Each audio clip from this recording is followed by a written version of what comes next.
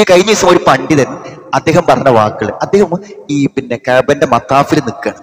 അപ്പൊ മത്താഫിൽ നിൽക്കുന്ന സമയത്ത് ഒരാൾ വന്നിട്ട് എന്ത് ചെയ്തു വിചാരിച്ചാൽ പിന്നെ അവിടെ ഒരു മുൽത്തസം എന്ന് പറയും. കാബന്റെ വാതിലിന്റെ അടുക്കൽ മുൽത്തസമുണ്ട് ആ മുൽത്തസമ്മ നിന്നിട്ട് പ്രാർത്ഥിച്ചാൽ അള്ള ചോദിച്ചത് തരുന്ന നിങ്ങൾ നിങ്ങൾ ഉമ്രക്കൊക്കെ പോയാൽ കാണാൻ പറ്റും. ആ അജർ അസ്വദിന്റെ തൊട്ടപ്പുറത്ത് ആ കാബന്റെ വാതിലിന്റെ അവിടുക്ക് ആൾക്കാർ ഇടിച്ചു കയറുന്ന കണ്ടില്ല നിങ്ങൾ അപ്പൊ ഈ സെക്യൂരിറ്റിക്കാർ പിടിച്ചു നിർത്തുകയൊക്കെ ചെയ്യും. അതിപ്പോ അവിടെ ഒരാൾക്ക് കയറണമെങ്കിൽ സെക്യൂരിറ്റിക്കാരനെ അതിജീവിച്ചിട്ട് തന്നെ പോകാൻ പറ്റുള്ളൂ അല്ലാതെ പോകാൻ പറ്റൂല. അപ്പൊ അവിടുന്ന് പ്രാർത്ഥിക്കണമെങ്കിൽ അത് പോകേണ്ടി വരും. ഏതായാലും ഇയാൾ അവിടെ പോയി. അയാൾ അയാൾ അവിടുന്ന് പ്രാർത്ഥിക്കാതെ എനിക്കൊരു കുട്ടീനെ തരണേ എന്ന് പറഞ്ഞിട്ട് അയാൾ കരഞ്ഞ് പ്രാർത്ഥിക്കണം.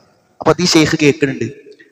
അങ്ങനെ അയാൾ പിന്നെ അവിടുന്ന് പോകുന്നു പിന്നെ ഒരു ഒമ്പത് കൊല്ലം കഴിഞ്ഞിട്ട് അതേ മതാഫിൽ നിൽക്കുന്ന സമയത്ത് വീണ്ടും ഒരു ശബ്ദം.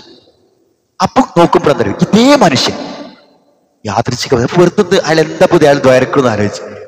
അപ്പൊ ദ്വാരക്കണം തരുമോ ഇന്റെ കുട്ടിനെ നീ നശിപ്പിച്ചു തരണേന്ന് അയാളുടെ ദ്വാരക്കണം അപ്പോ ഇയാൾ വിളിച്ചിട്ട് ചോദിച്ചു അല്ല എന്തപ്പോ?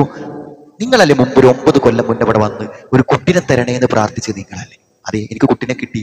ഇപ്പൊ ഞാൻ ഓനെ നശിപ്പിച്ചു തരണേ എന്നാണ് ഞാൻ പ്രാർത്ഥിക്കുന്നത്. അപ്പൊ എന്തിനാണ് നിങ്ങൾ അങ്ങനെ പ്രാർത്ഥിക്കണമെന്ന് വെച്ചു പറഞ്ഞു ഓനെ കൊണ്ട് അത്രയും കുടുങ്ങിക്കണം നാട്ടിലുള്ള എല്ലാ ഞാൻ സോന്റെ ഇനി ഓപ്പിടെ നിലനിന്നിട്ട് കാര്യമില്ല അപ്പൊ അദ്ദേഹം പറഞ്ഞു നിങ്ങൾക്ക് രണ്ട് പ്രാർത്ഥനയും തെറ്റുപറ്റി. രണ്ട് പ്രാർത്ഥനയിലും നിങ്ങൾക്ക് തെറ്റുപറ്റി എനിക്കൊരു കുട്ടിനെ തരണേ എന്ന് പ്രാർത്ഥനയിൽ തെറ്റുപറ്റി എന്തായാലും പറ്റി തെറ്റ്? ആ എനിക്കൊരു സാരിഹായ സന്താനത്തെ തരണേ എന്ന് നിങ്ങൾ പ്രാർത്ഥിച്ചില്ല. അതാ നിങ്ങൾക്ക് പറ്റിയത്. റബ്ബി ഒന്നിനെ എനിക്ക് തരണേ എന്നാണ് എന്നാ പ്രാർത്ഥിക്കേണ്ടത്? അത് പ്രാർത്ഥിച്ചില്ല. രണ്ടാമത്തെ തുഴയിൽ വന്ന തെറ്റെന്താ?